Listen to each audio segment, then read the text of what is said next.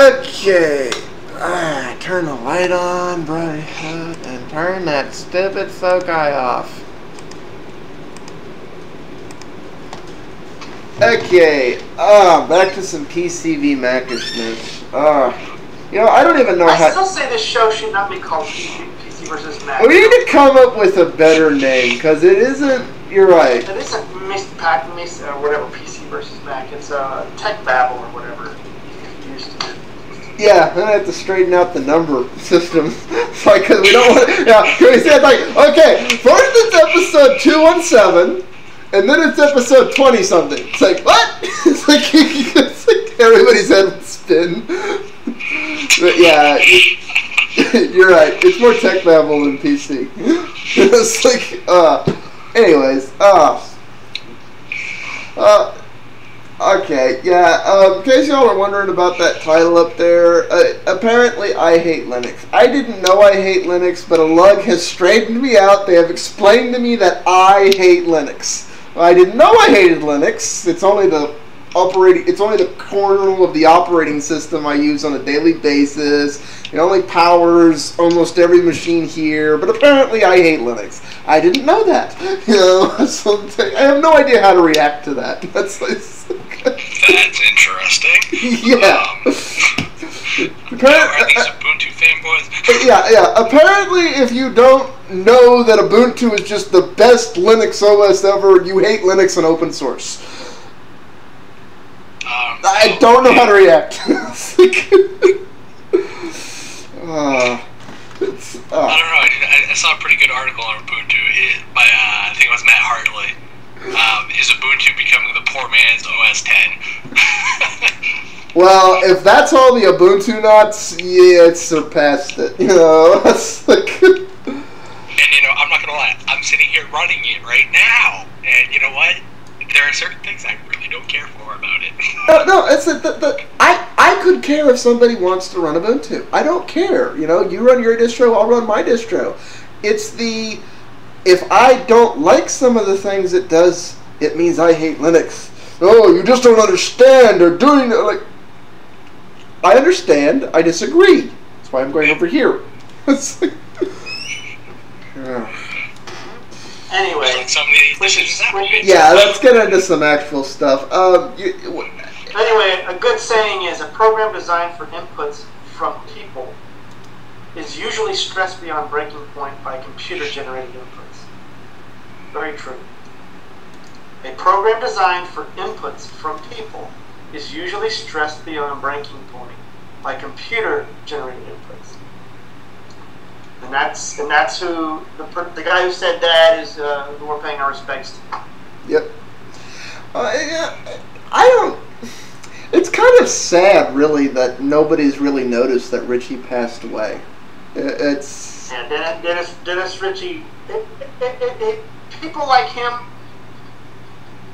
do fall through the cracks. It's just the way society is. If you're not really, if you're not, let's put it in computer terms and, and layers.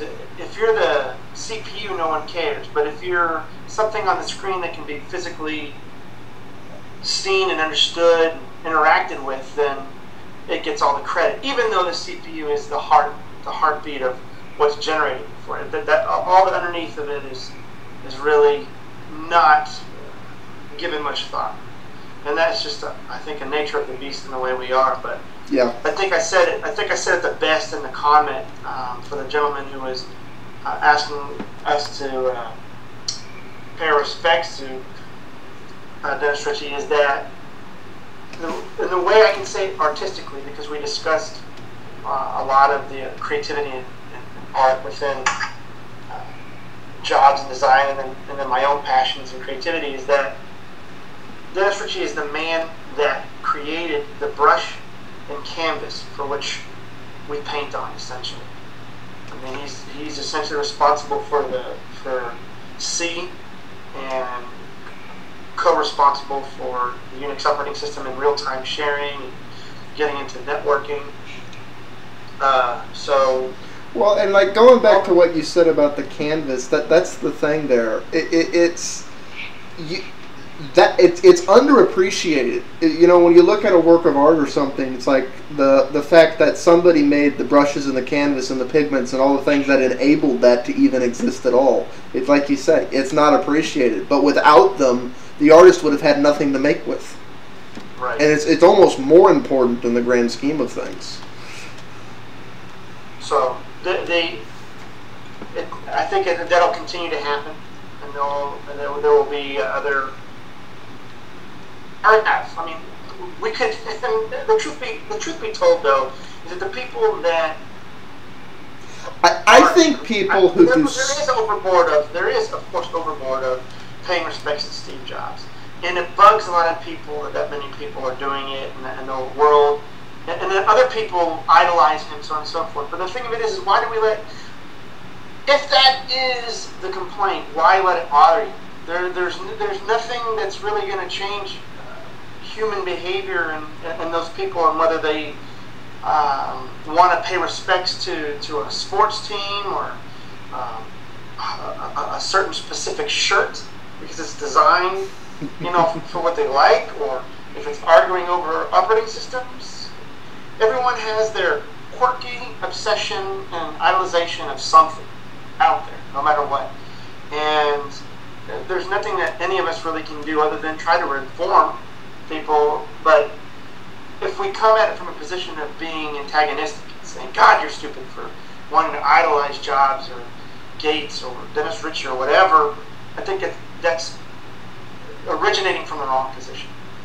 And because who, who, who, is, who is person A to person B to say who they should respect and not respect? Steve Jobs certainly does have a tremendous amount of technical skill behind him uh, that we discussed in, in iWorld that doesn't need to be rehashed. Uh, but Dennis Ritchie also deserves a tremendous amount of respect um, and, and just as much recognition for his contributions uh, to technology. And I must say that one of the, the strongest Apple pundits out there, um, Gruber, actually did a post on his on his blog paying his respects to Dennis Ritchie. So there there are there are those that are the uber geeks that will uh, pay attention. And it was sad that the press was so slow to uh, leaking it out, but uh, it is it is what it is. Yeah, I'm gonna say like I, I, I was I, I didn't even realize that because like you said it received no coverage. Nobody it, it's like it was not known. It's like it slowly eked out. What really? Dang.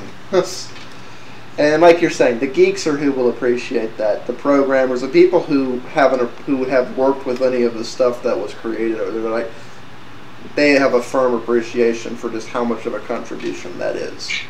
I was- going to say people who are within the industry that are affected from you know what Dennis Ritchie did for the industry will appreciate it a lot more than unfortunately the generic populace would. And that's just kind of the way it is, though.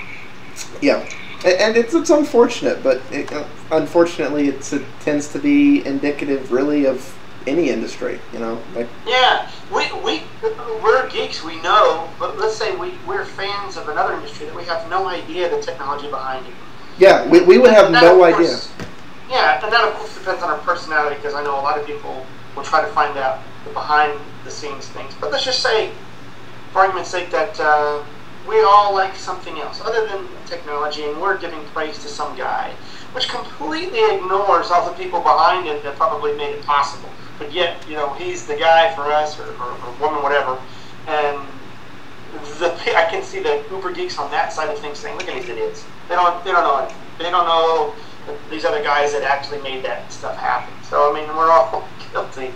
Uh, Yeah, it, it, it's. I mean, it's it, it's one of those can't see the can't see the forest through the trees types things, or the Right. trees through the forest. It's just, and unless you really know or dig in, it's you're blissfully unaware of the underpinnings Right. and their importance. But it also doesn't. It should also not dismiss our praise, even though we don't know the behind the scenes of this other industry. It doesn't mean that that, that, that person who we are paying respects to or idolizing, whatever, uh, doesn't also deserve merit. You know, obviously there is a reason somewhere where that individual garnered our respect, right? So, and, and that in itself cannot be dismissed or disregarded. for just because someone else created a canvas for which this other this other, this other individual used the tools and built upon. You know, so. Now, well, now it's like for those of you who are wondering, it's like I mean, this, for those of you who have no idea what C is, I mean, it's the it's it's one and of the more still compiles to it. A Yeah. lot of our upper layers still compiles. You know, basically compiled down to C level. Some other up new newer languages and upper level languages have now been made to directly compile to. Well, now, and, and see that that's the thing. When it comes to newer languages, I mean, people look on older languages like C as, um, I don't want to say overly simplistic because they're anything but, but it, it's it's one of those things. There's less appreciation for the base languages like that today, unfortunately.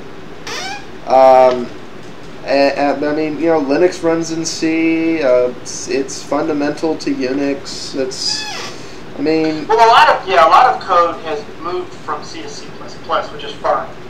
yeah, Uh, wh- which is but- indirectly based on C, anyways. Of course It's- it is, yeah. So it's You're just changing from procedural. You're, you're changing from procedural to more object-oriented, essentially. Um, and then, really, when you try to get to higher level languages, you- you're basically automating. You're trying to automate many of the lower level functions, such as memory management, garbage collection, where things should be allocated, pointed, stacked, and so on and so forth. And which can we get- create mixed results depending on what's going on. Sure. But it comes at a, it comes at a cost of the least common denominator for efficiency. yeah. So it is a shame, man. It's just uh, probably more fundamental to pretty much core computing. And I like what he said here. Unix is simple, but it just needs a genius to understand. Oh, dude, there's a lot of quotes from him. That's just it's, Now, 20 percent of all input can be filled out with the same foundation. I would say it's high up there. oh, no, it's like at the end of the day, he under, he understood computers very, very well. He understood the logic of them and what needed to be done. That's Can you imagine you're frustrated with like assembly?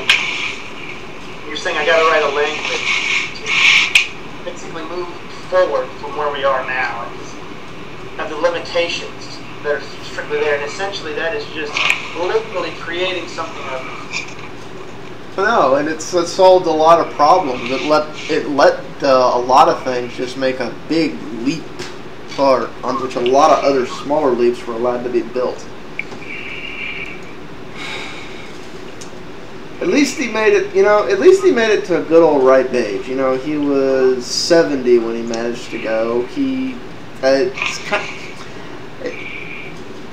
fortunately managed to live to old age. He managed to, I mean, he could have lived longer, but uh, he was just, he was found by the time, which is kind of the sad thing. Like, he was found. Nobody really realized he had, yeah. no, nobody really realized he had passed. It was just, he was, like, he was found, and I was like, oh. I know. That that's I a know. that's a sad. That's okay. Anything else we want? Steve Jobs links. I mean, I, there are a tremendous amount of days named after people that none of us will even know about, and I don't think it's. It's. A, I don't think there's anything wrong with what they're wanting to do. If they want to do it, they, they have a day in California for Steve Jobs. It's fine. He certainly contributed enough to their economy. Why not? I, I, I guess I, I, I am with some other people. I'm like I'm not sure he deserves a, a day. You In know? California, but do you know how many other people have days after them in other states? It's, sort it's not like a national day. Okay. Oh no, that's true. God, man, if you go through the calendars and Linux and other open source calendars, boy, there's holidays you ain't never heard about for yada yada yada yada and so forth. This is Ah, uh, I say reading. Uh, yeah, somebody was telling me to read more. I don't know who actually run this.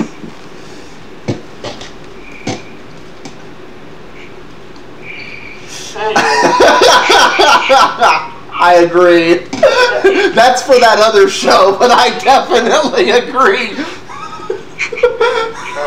That's another whole. That's a whole nother topic right there. I just typed something internally on our, on our show. yeah, yeah, y'all will find out about it at some point. Don't worry. Uh, okay, let me see. What was, what was this? It seems they have us surrounded. I can't remember now. It's oh, oh yeah. Apparently, just an interesting little fact. Getting back on the point, it seems wireless devices now have Americans outnumbered.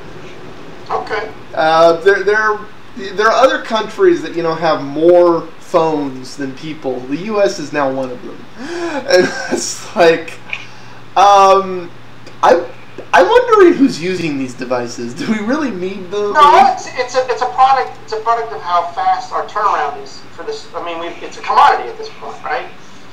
There's there's a tremendous amount with anything uh, in many commodities where that one commodity can outnumber uh, the whole populations. I mean, it's it's because we go through cycles, so on and so forth. I mean, this number um, encompasses a huge amount in terms of from from all the phones that have, have been used and are going to be used, currently being used, traded and sold, and so on and so forth.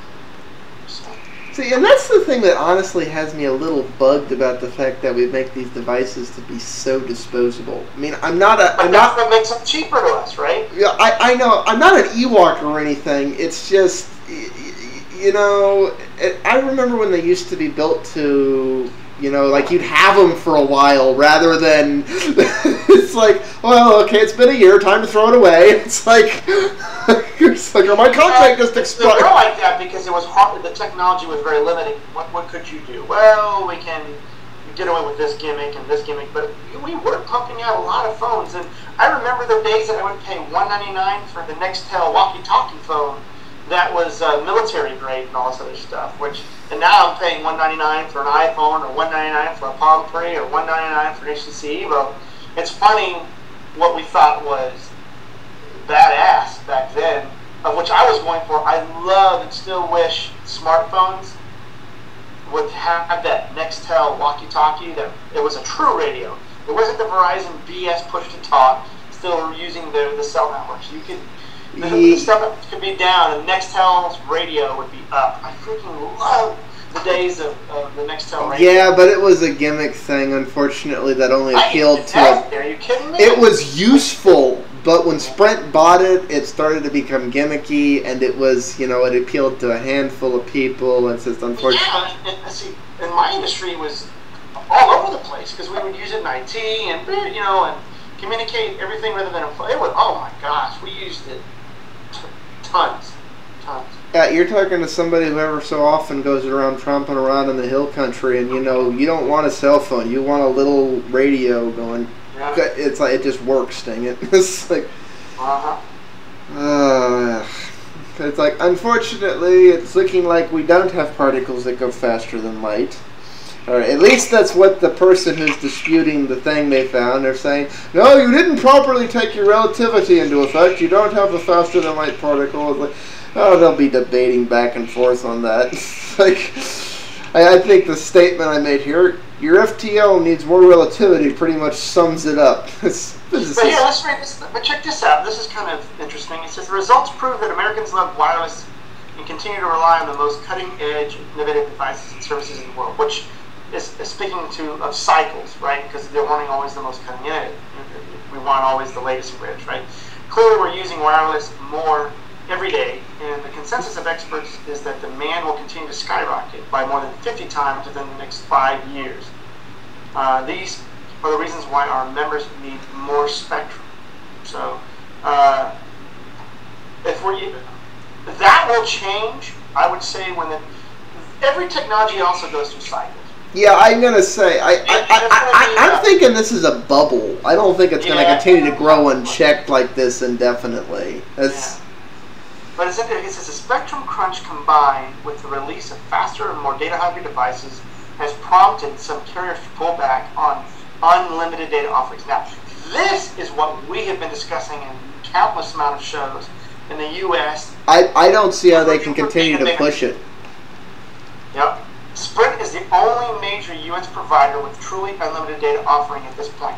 Let's see if that remains to be true, Sprint, now that you have the iPhone. I'm very curious to see what, what Sprint is going to do.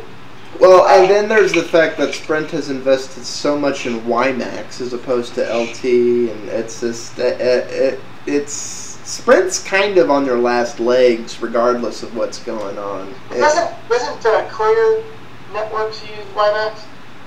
yes, Well, they're the ones that are out there before Verizon, and now it's all I see is Clear everywhere. So I, I don't know. I don't think that I don't think that necessarily Sprint is on on. Uh, I see. I, I I'm wanting to say why. I mean, Sprint obviously is hurting because we're we're living right now where the iPhone is the hottest product to, to, to want to get. It's like you know, it's like the next. Uh, what were those? Uh, my friend, we were discussing it with my uh, colleague, and it said his kids love this. Uh, God damn it! What's the name of the clothes they like? It's these clothes that have uh, that I think are not that great looking, but uh, what's it? So something Fitch, Fitch, uh, something in Fitch. you're talking to the wrong person. I became an old fart. Abercrombie in something. Or Abercrombie.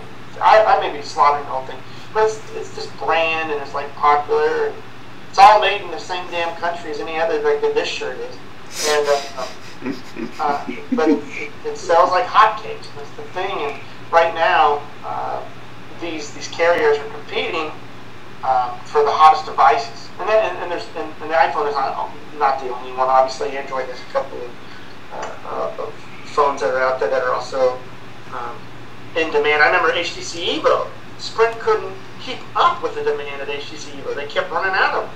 So I think that we'll see how the iPhone fares. I, I think that anybody who's getting the iPhone 4S and can switch carriers should to Sprint. And, I mean, because Sprint's got some of the beta, the, the, the best data plans. out They have they are the only ones with a data plan you want to buy right now. That's the real problem. It's like there's some great Android phones coming out right now. Uh, there's a Motorola uh, Razr. It's a great LTE 4G phone, but it's on Verizon only, so you're you don't want it. Uh, same thing with the one Google just announced that Samsung makes, even though I really don't like Samsung right now, but it's not a bad phone. The one they just announced uh, tonight, the uh, what is it, the uh, Nexus Nexus Prime. Nexus Prime, yeah, like they're great phones, but they're not on Sprint. It's like it's I'm, I'm sorry, it, it's I I will not do this two gig AT and T or blog gig for I'm not gonna play.